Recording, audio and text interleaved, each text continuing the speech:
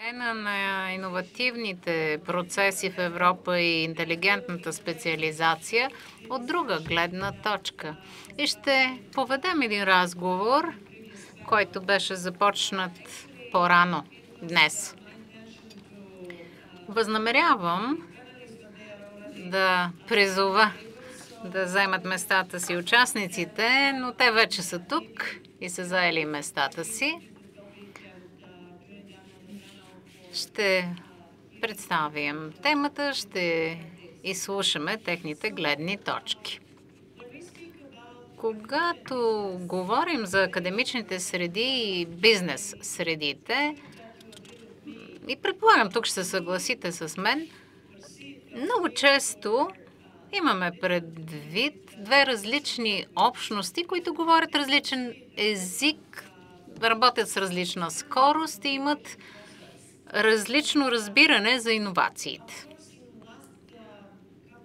През последните няколко години, през последния програмен период, ако ще говорим за Европейския съюз, бяха постигнати много положителни резултати за взаимодействието на тези две общности. Тук, разбира се, трябва да включим и онези, които разработват политиката, защото това е третия участник в този триъгълник. Така или иначе обаче се налага да стимулираме този процес, да го ускорим и да се справяме с промените, за да бъдем водещи в областта на иновациите в света. Затова е нужно да създадем среда, така, щото иновационния процес да включи научно-изследователската дейност, бизнеса, новопоявилите се фирми, всички те да действат единно. Кои са предизвикателствата? Къде са възможностите? Какви са решенията? Ето това ще е темата през следващите 50 на минути. Имаме много интересни оратори, седнали тук до мен. С нас е Петър Статев, който самия е, представлява бизнеса в България, деловите среди, но той е един от създателите и сега е председател на една мрежа, която работи в сътрудничество с други страни в региона. Ще сподели своя опит с нас след малко. И държа да споделя нещо. Скорошен успех. Успешна инициатива която е иновационния хъб, център в България. Господин Статев, заедно с други организации, е съпричастен към това дело. Така че е добре подготвен да ни разкаже какви са възможностите в делови смисъл, как се развиват кластерите във връзка с иновационните процеси. Това всъщност бе един от акцентите на предходната сесия. Ставаше дума за холистичния, както би го нарекла, иновационен процес. С нас също така и Стефанов Антони. Професор Фантони е от Триест. Някои от вас може би знаят, че Триест ще бъде научен център през 2020. Ще научим повече за този проект, който е един добър пример за сътрудничество, за иновационна дейност по места. С нас е Исфандияр Хан, който е от Световната банка. Исфандияр работи за съвместно с представители на много страни в Европа. Изпълнява проекти в подкрепа на иновационната политика и създаването на ефективни механизми. Той ще ни предложи структуриран обзор на натрупания опит. Много се радвам, че с нас е и Катерина Серети, която е от Европейския институт за иновация и технологии. Института беше споменат и сутринта съвсем преднамерено, защото този институт а, беше и продължава да бъде пример за това как се подготвя, образоват хората и се стимулират различните участници в иновационните процеси. И на последно място не по значение, с нас е и Галя Ангелова. Тя е от Института по ИКТ към Българската академия на науките и тя ще сподели интересен български пример за иновационни езикови решения. Струва ми се, че е, имаме едно много добро портфолио от е, теми, специалисти за взаимодействието между академичните среди и деловите. И с тези няколко встъпителни думи ще дам думата на господин Петър Статев за няколко а, встъпителни думи също.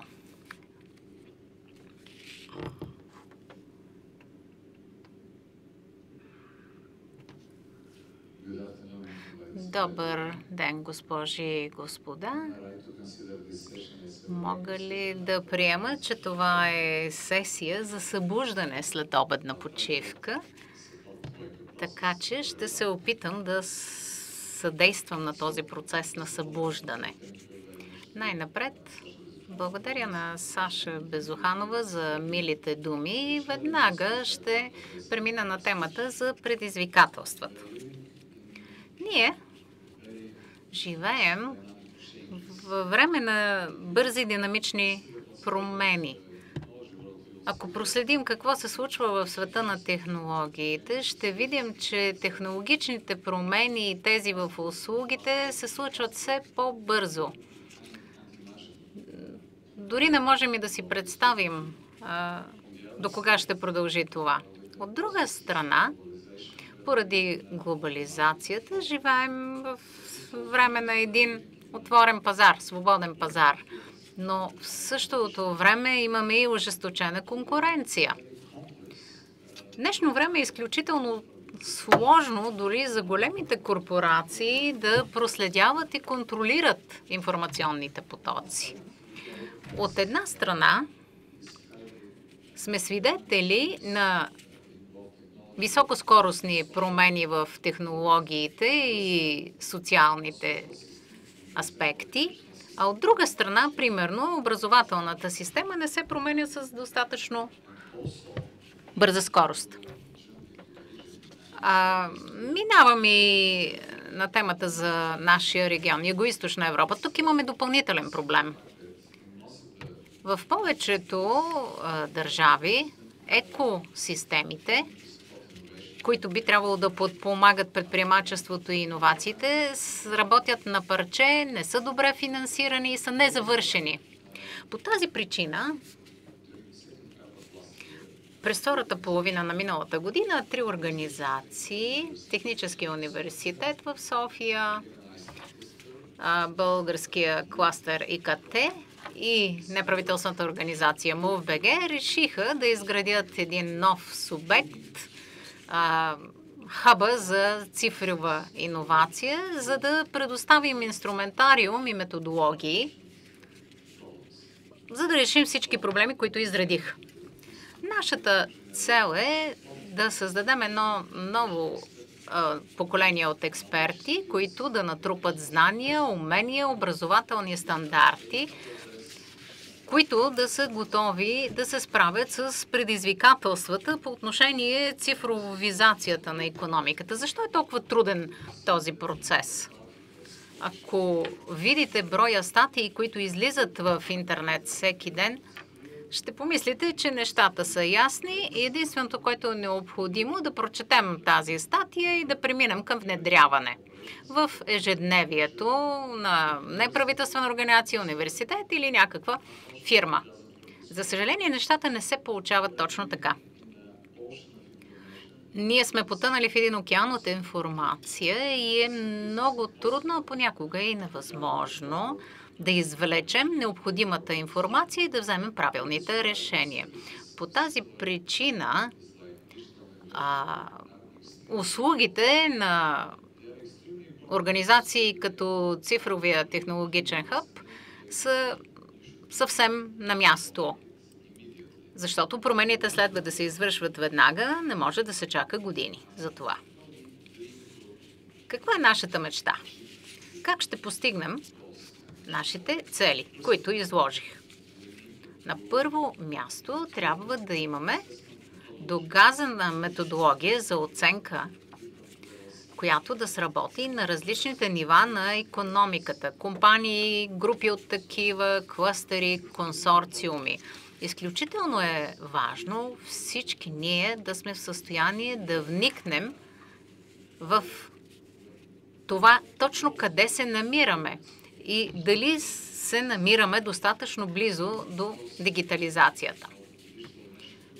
А, нашия хъб за цифрова иновация вече предлага някои услуги, като например валидиране на различни решения, инструментариум. Няма да ви чета всички точки, които съм описал тук на слайда. Направо ще премина към следващия важен въпрос. Вече е пролета на 2018 година. Защо продължаваме да говорим за сътрудничество между академичните среди и бизнес. Първите проекти, които бяха финансирани в подкрепа на трансформацията, беше през 2006 година. Вече сме 2018 година и продължаваме да говорим за технологичната трансформация, за сътрудничеството между бизнеса и академичните среди. Не е лесно. Отговорът е много сложен поради културни различия, веригите за доставки. В Европа много бавно се предвижваме напред по отношение трансформиране на резултатите в промишлени продукти и услуги. Предложенията на пазара, особено в Юго-Источна Европа, са разпокъсани. А на Западните Балкани можем да изброим много малки национални държави. Всяка си има граници, митници, регламенти, наредби. Нещата така не могат да сработят. Говорим за създаване на единен цифров пазар в Европа и това не би могло да стане, ако се придържаме към старите приеми на работа на националните държави от преди векове. И в обобщение ще кажа следното. А, семената на споделената економика, принцип, в който аз дълбоко вярвам, все още не са поникнали. А нямаме време да чакаме да завърши целият цикъл на растеж. Какво ни трябва тогава? Няма съмнение, че ни трябва общ пазар. Трябват ни съвременни национални политики, стъпили върху принципа за интелигентната специализация, но на базата на парадигмата за споделената економика. Дори най-големите държави в Юго-Источна Европа няма да могат да бъдат преки конкуренти на големите корпорации на световните пазари. Трябва да променим образователната система трябва да променим баланса между инвестициите във всички държави членки по отношение на инфраструктурата и способността на гражданите бързо да се ориентират по отношение на свободните продажби в света. Това са доста общи постановки. Какво правим ние в нашия иновационен хъб?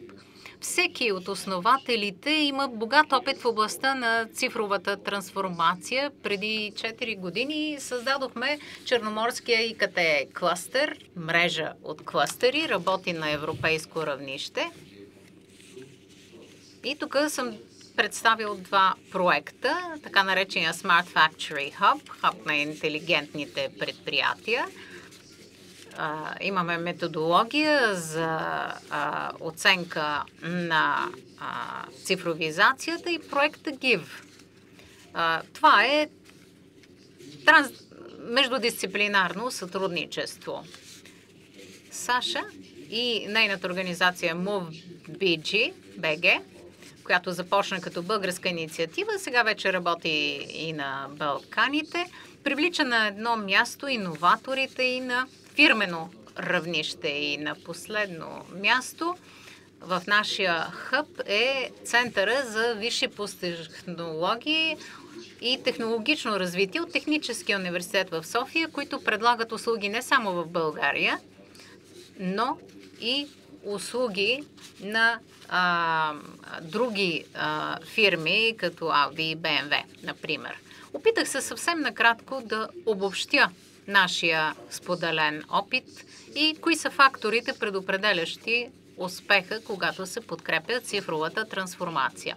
На първо място, но, нужно ни е ново поколение лидери. Също така рисково финансиране, отворени пазари, наличие на модерни съоръжения за научно-изследователска дейност, пилотни проекти, подкрепаща култура. Това е изключително важно – защото подкрепящата култура означава, че а, когато някой се провали, не бива да го сочим с пръст. Бихме оказали подкрепа, ако кажем той и тя просто трупа опит. Нужни са ни и благоприятни условия за учените, изследователите без граници. И на последно място, но не по значение, тъй като се конкурираме в световен мащаб, ни трябват доказани, доверени мрежи между различни лаборатории, университети, клъстери, научни и технологични паркове. Ако постигнем всичко това, ще можем да бъдем лидери в технологичния свят. Благодаря ви. Благодаря, Петър. Това беше доста дълго въведение, пълно с идеи а, и фактология. А сега позволете да поканя професор Стефанов Антони. Това е нашия следващ оратор. Както вече споменах, Триест е един прекрасен пример, но професор Фантони е един от водещите експерти по отношение на идеите как резултатите от научно-изследователската дейност да стигнат до бизнеса, как да стигнат до местните екосистеми. Така че, професор Фантони, бихте ли поделили с нас вашата гледна точка на база на вашия опит? Как тези две дейности могат да стигнат една до друга, академичните среди и бизнеса. Благодаря ви, госпожо председател. Благодаря за въведението, за възможността да присъствам и да участвам в такава значима конференция. За нас е важно, като казвам нас, имам предвид екипа, който се занимава с авантюрата, в която в момента сме се хвърлили, е важно да представяме своята дейност, да представим научните, иновативни дейности, с които се занимаваме, информация за това, с което се занимаваме и да ви поканим да дойдете в Триест и да видите с очите си. Така че Триест ще бъде сцената, на която ще се представят резултатите, анализите и събитието ще бъде фантастично.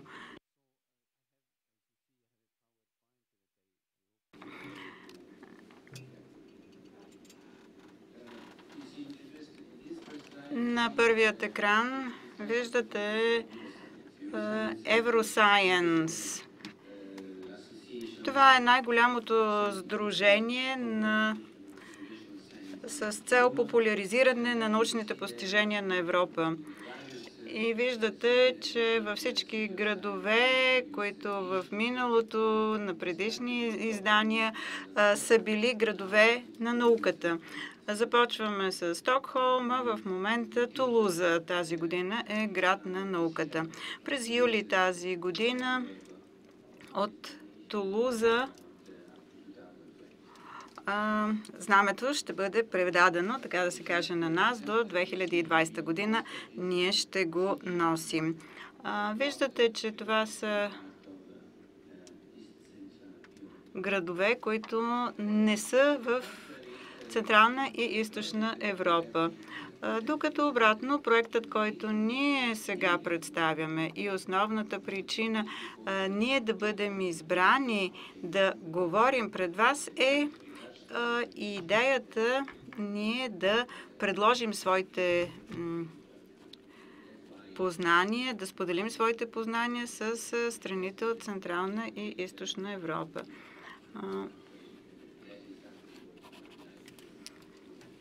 През 2020 Трия ще бъде град на науката и точно това искаме да постигнем тогава.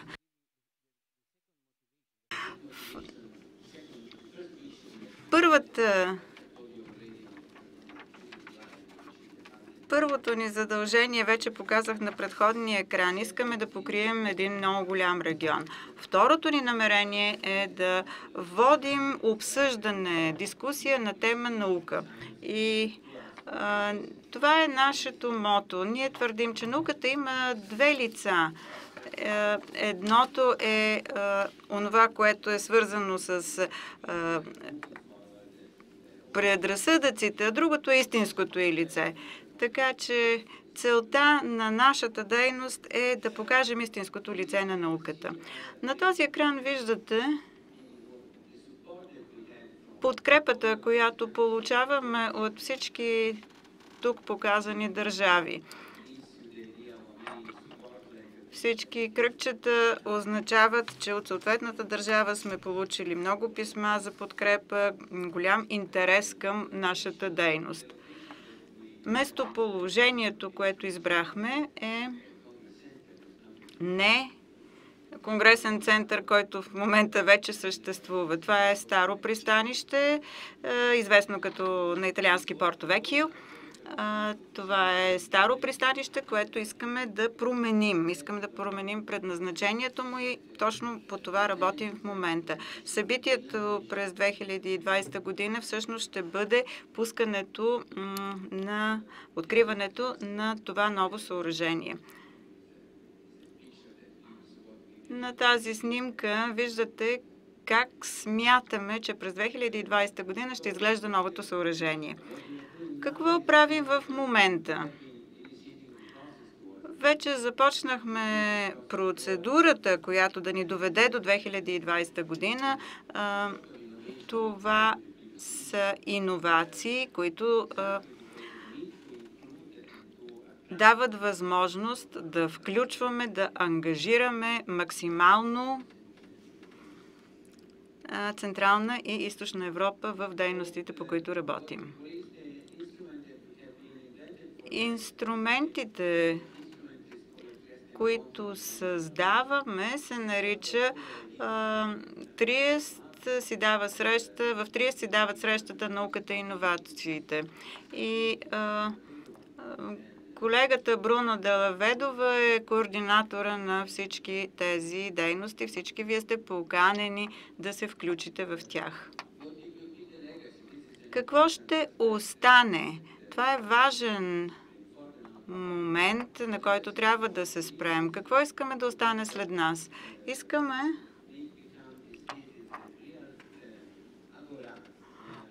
да създадем един истински форум за наука и иновации, там където се провеждат различни срещи, различни възможности човек да дойде на едно красиво място, пък дори и да си почине, освен заниманията с наука. Основните дейности в Трия ще бъдат посветени на морето, но ще имаме и лаборатория, ще имаме и а, други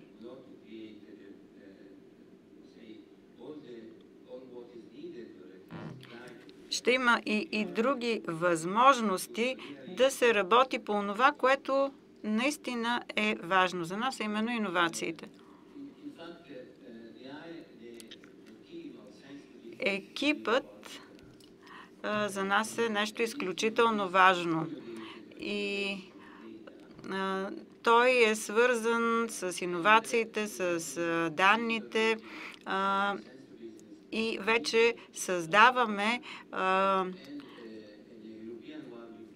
комитети, които създават връзката между научните среди и бизнеса и до края на 2018 година тези структури вече ще бъдат на лице. Следващата дейност по тази инициатива в Триест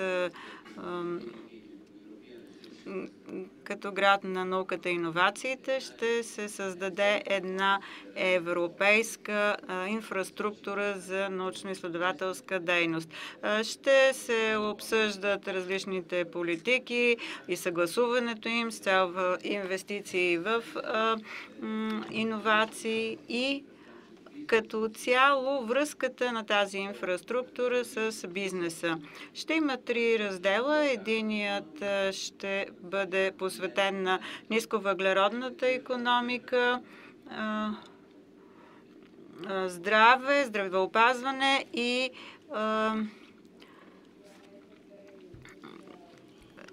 данни, информационни, информационно общество. Благодаря много. Това беше наистина много интересно от гледна точка на информацията, която предоставихте за Триест като европейска столица на науката през 2020 година. Сигурна съм, че много от участниците ще проявят интерес към това, което току-що ни представихте. А сега ще помоля останалите оратори да бъдат малко по-кратки в изказванията си.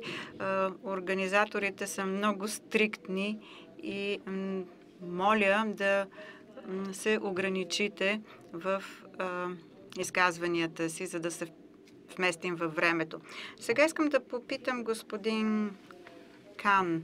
Смятате ли, че реформите в сферата на политиките са решението? Смятате ли, че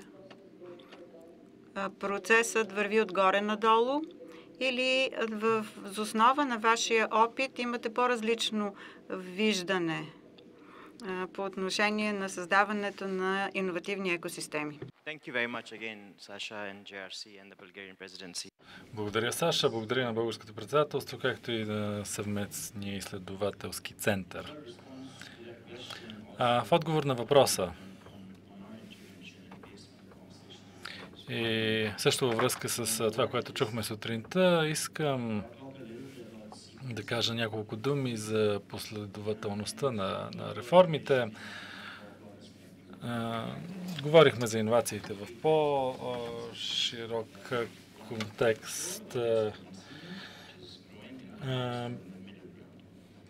И видяхме, че разделяме иновативността иновациите на такива, които са по-напреднали, по-изоставащи и такива, които са горе-долу в средата по отношение на страните. В отделните страни се предприемат различни подходи. При една система за ранни иновации, образованието в система STEM, както чухме сутринта, превъзмогването на, на, на трудности и бариери, има, разбира се, и системи, които са по-зрели, системи на иновации, които целят да минимизират, да сведат до минимум разликите в страните. В третата група са нашите целеви страни, където има съчетание от двата типа. Там, където се опитваме да насърчаваме инфраструктурата за развойна изследователска дейност от една страна и от друга страна насърчаваме укрепване на експортната инфраструктура. Един а, въпрос, който е важен и който е свързан с конкретната ни тема, как си сътруднича бизнеса с академичните среди. Може ли да се помогне може ли да се помогне, трябва ли да се помогне на бизнеса или на академичната общност да, да, да протегне ръка? И ако погледнете изследователските институции, институти, институции в тази част от света, е необходимо да има някакъв начин за, за, за измерване, за да се прецени какви, са, какви са резултатите и доколко те са обвързани с частния сектор. В Сингапур има програма, която се нарича Spring, 75% в управителния съвет от частния сектор. В Колумбия, в Бразилия има такива програми, където а, частния сектор а, всъщност плаща за контактите си с изследователските институции. Да, това са инвестиции, но това не на всяка цена е най-добрия отклик. Добре е да, да има такива а, средства, но трябва да са инициативни и изследователските организации. Те трябва да търсят такава реализация и за себе си. Така че Европейския съюз и наоколо доста по-активна е ролята също така и на, на, на, на частния сектор. Правят се партньорски проверки и винаги Финланд обикновено е, е заема челни позиции. И те се подлагат сами на външна партньорска оценка. Тоест по такъв начин не се оценява сама една страна за това колко ефективно се изразходват средствата. Така че това е доста дълъг отговор на въпроса, който зададахте, но, но имах нужда да споделя всичко това. Благодаря.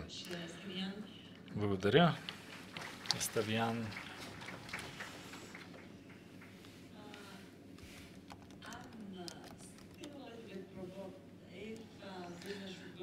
Добре, ако бизнес, дали бизнесът трябва да се обръща, да протяга ръка към академичните общности или обратното, според мен трябва да, да седнат заедно на една маса, на една кръгла маса и също, редом с тях, трябва да има и новоучредени фирми, стартъпи, хората от STEM.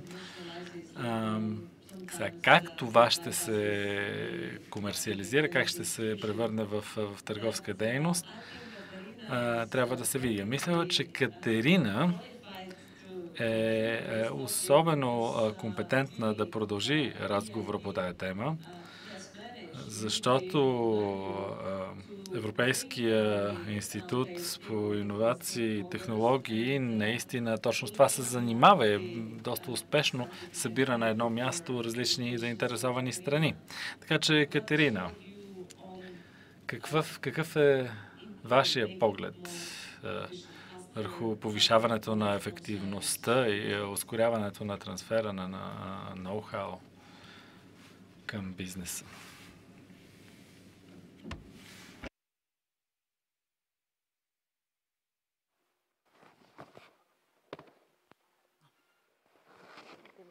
It's not working. Ah, now it's working, finally.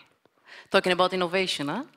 А, като говорим за иновация, оставя и микрофоните да не работят. И така, благодаря. Благодаря за, за, за представянето. Искам да благодаря на Центъра за поканата. Много се радвам, че имам възможност да дам някакъв принос към тази дискусия. Аз говоря от името на Европейски институт, който наистина се занимава с връзката между академичните общности и а, бизнеса. Ние създаваме иновативни мерки, създаваме европейски партньорства и използваме вече съществуващи партньорства на университети, изследователски организации, представители на бизнеса, обществени органи. Това го правим, като създаваме общо европейски, паневропейски партньорства и общности. Тези иновативни общности имат за цел да намират иновативни решения, свързани с изменението на климата, активното устаряване, устойчивите източници на енергия. Това го правим, като изпълняваме дейности по цялата верига, от образованието до пазара. В момента имаме 6 новаторски общности, които се състоят от над 1000 чудесни партньори.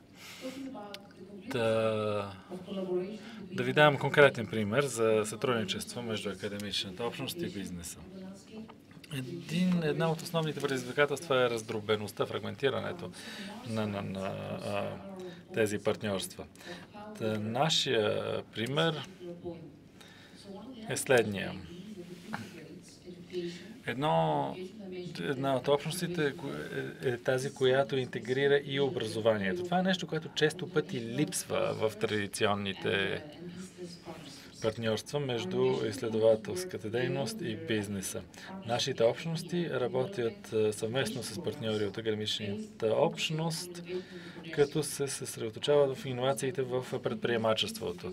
Това е една програма, която се занимава с професионално обучение, кратки курсове и много други видове обучение. Но каква е ползата? Какво е допълнителното? Там се съчетават специализирани познаци с конкретни умения в областта на предприемачеството. Това е един подход, подход който включва и практически опит на място за партньорите. Та сега по-конкретно по примера. Как действа това? Нашата общност, която работи по климатичните изменения, има програма за мобилност, която се нарича пионери на практика. Това дава възможност на млади професионалисти да натрупат опит чрез 4 до 6 седмици стаж под наблюдение на опитни колеги.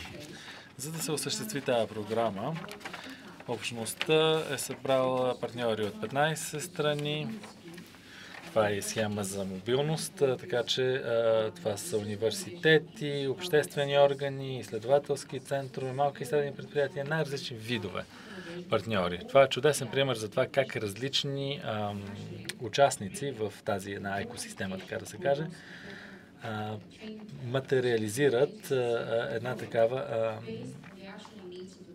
обучителна програма, която откликва на нуждите на частния сектор.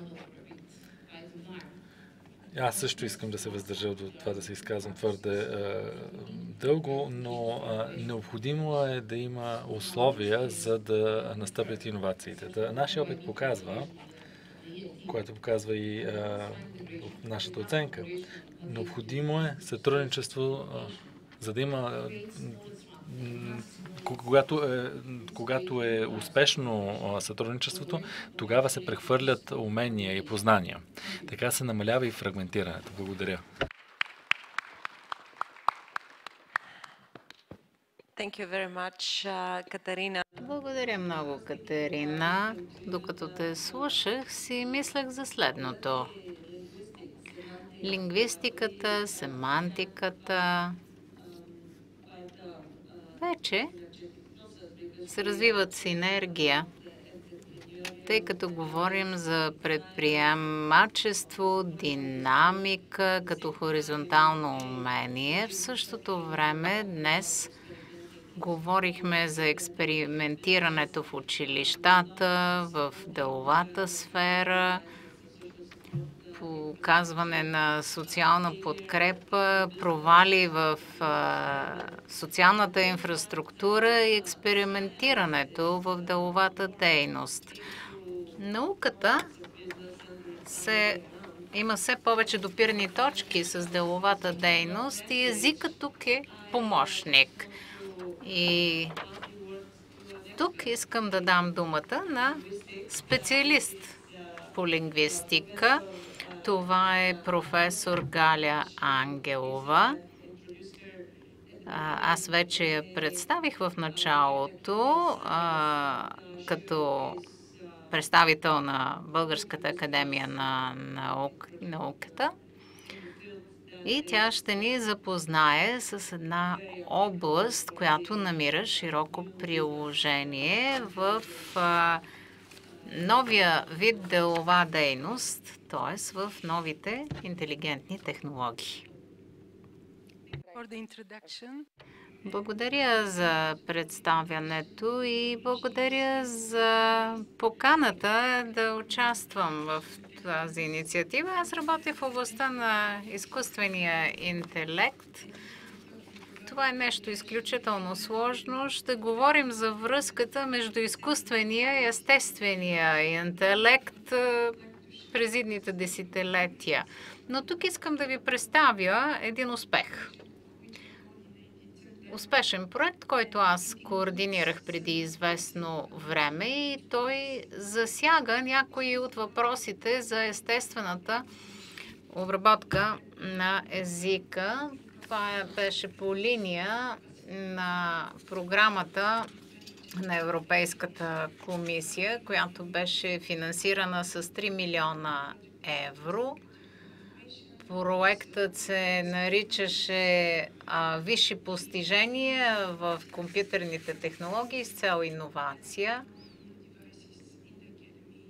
В академията от 20-25 години не беше усъвременяван а, хардуер на Западните Балкани знаят добре какво е да нямаш ново оборудване цели 20 години. Актуализирахме инфраструктурата, закупихме оборудването, внедрихме новите технологии и комисията каза, става дума за ИКТ, трябва да обърнем внимание на потребителите, да се свържем с компанията, да регистрираме патенти и промишлени продукти. Това беше по линия на последната покана за участие в програмата периода 2012-2016 година. А, високопродуктивното компютърни технологии бяха много важни за института. Това беше първия проект за оптимизация на технологичния подход към речта. И това е един от най-успешните проекти в списъка с проекти на комисията. Нещо, с което ние се гордеем и сме получили съответните грамоти.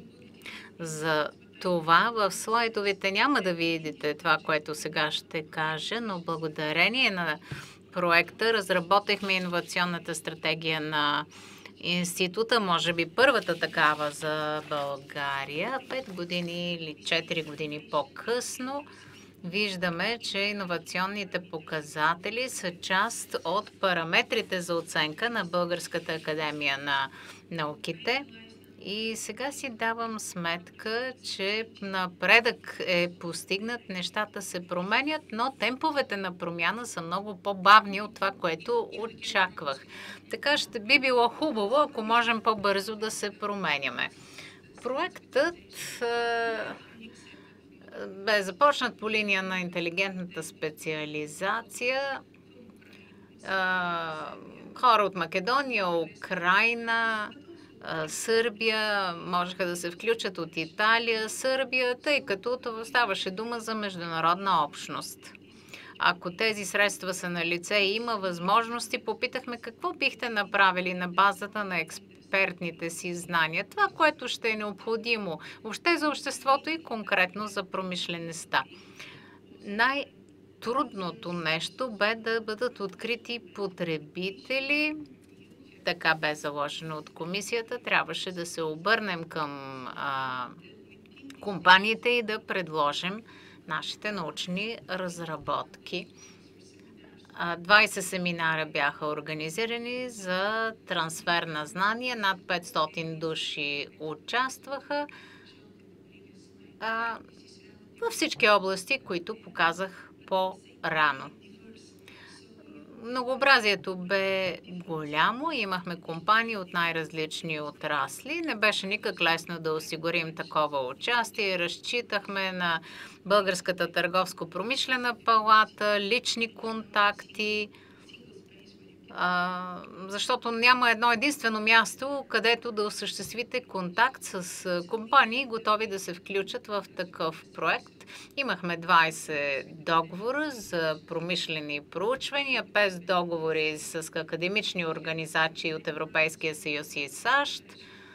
Имаше и много проекти от оперативна програма Конкурентоспособност и сме подали заявление за 10 патента. Най-голямото предизвикателство е да се осигурят финансови средства за изследване и разработване на прототип. Ще ви покажа един единствен пример, постигнат в съвместна работа с университета от Триер. Това е една много известна картина А, виждате плаката с контурите и графичното изображение, сегментирано на части, за да може да бъде използвано с а, брео за хора с увреждания. И така те могат да прочетат и легендата с описание на картината. А, отдясно виждате самите картини, а отляво виждате същото изображение, но вече приспособено за четене чрез а, брейл. брейл. Така че тези, които могат да прочетат текста с дясната ръка, с другата ръка могат да проследят самото изображение. Къде е новаторството тук? Виждате, че имаме отделен сегмент, отделен сегмент. Нямаме единично изображение, така че чрез Брайл всеки от сегментите може да бъде разгледан по-отделно, да бъде увеличено изображението. Един вид получава се мултимедиен ефект. И за да може да бъде представено така съдържанието, се нуждахме от допълнително финансиране и това беше най-трудният елемент от нашето усилие. Благодаря ви.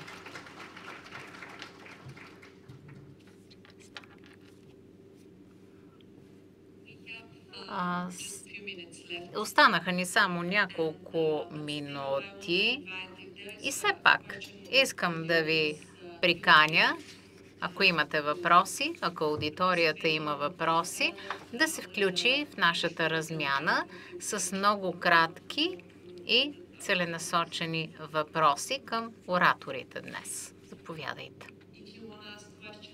Ако искате да зададете въпрос, моля да вдигнете ръка, за да ви предоставим микрофон.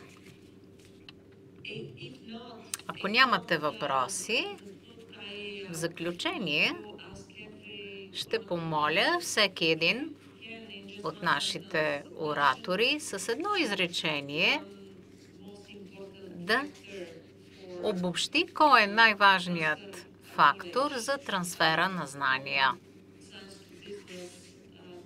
Трансфер от научните среди към деловите, който да подпомогне изграждането европейските екосистеми и иновации. Ще започна тук с Галя.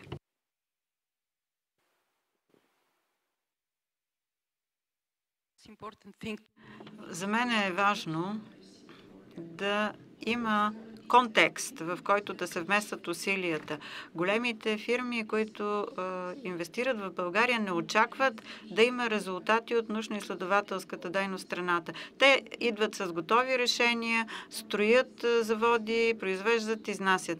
Така че е важно да има малки национални фирми, които да работят в сферата на иновациите и ние да се срещнем с тях. Това е нашата ниша. Тоест, вие бихте е, казали, че това е важен фактор за контакти между бизнеса и академичните научно-изследователски среди. Благодаря, Стефано.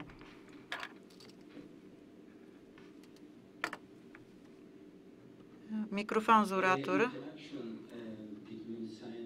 Връзката между науката и иновациите. Това е динамичен процес. Това означава, че е много рисковано да се каже това е решението. Нещата се подготвят, анализират във времето, но технологиите се развиват много бързо. Много е трудно да си представим, че трябва да има някаква схема, в която да се вместят тези взаимоотношенията. По отношение на България, смятам, че е много важно да има истинска връзка между учените и предприемачите. Те просто трябва да общуват помежду си. Те трябва да се чувстват като неразделна част от един много съществен и а, неизбежен процес. В, в момента тези две категории си живеят всяка в собствена баносова кула и е много трудно да се осъществи връзката между тях.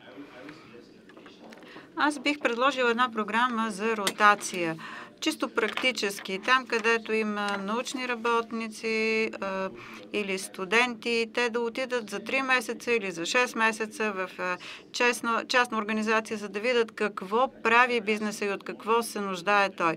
В а, момента има възможност по различни програми хората да пътуват дори по цяла година до прекарат в друга държава, но би било добре да прекарат е, поне 6 месеца в едно частно дружество, за да видят как работи то. Благодаря и може би е, студентите, които се занимават с е, бизнес, да прекарат поне по 3 месеца в някоя научна институция, за да видят как текат процесите. Пък там, ако мога да отговоря и аз на вашето предложение, Катерина, мисля, че всички печелим от обмена на опит, но нека да кажем, че най-важна е нагласата. Нагласата за сътрудничество. Нещо изключително важно. И второ, сътрудничество не само на национално ниво. Защото така изпадаме в ефекта на силоза, фрагментират се усилията.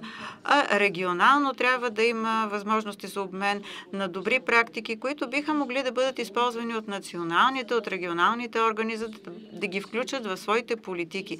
Така че трябва да се търсят различни примери, различни а, конкретни а, казуси и те да бъдат прилагани в последствие на практика. Да, нагласата, как се променя нагласата, как се променя културата. Това е важния въпрос.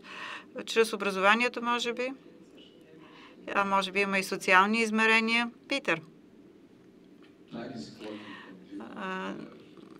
Времето тече по различен начин в академичните среди и в стопанските среди. Затова и нагласата на университетския професор и на стопанския ръководител са абсолютно различни имаме нужда от хора, които са специално подготвени, за да бъдат моста между двете. Хората, които имат стопанските познания, но които са в състояние да запалят искрата на сътрудничеството между тези две категории хора, така че да могат да подпомогнат процесите, които да обхванат и бизнеса, и академичните среди. Както вече казах, през 2006 година за първи път работих по проект по тази тема и след 10 години съм твърдо убеден, че в Европа все още не липсват стопански ръководители, които знаят как да се развива науката и как резултатите от научно-изследователската дейност да се превърнат в промишлена продукция. И така ново, нов вид образование ни е необходим. Това е края на нашия панел. Той не е изключение в сравнение с другите панели, които се занимават с същата тема. Обикновено образованието се споменава като най-важното измерение при промяната на менталитета и създаването на нови нагласи, но също така и умения, които обединяват които могат да съберат на едно място и експерти, и представители на деловите среди, представители на научната общност и всички те да представят своите различни гледни точки. Искам да благодаря на всички уважавани панелисти. Имах удоволствието да ръководя а, диалога през последния един час. Искам да ви благодаря за а, изказванията и моля и аудиторията а, да ме подкрепи като аплодираме нашите оратори за интересните изказвания. Благодаря ви.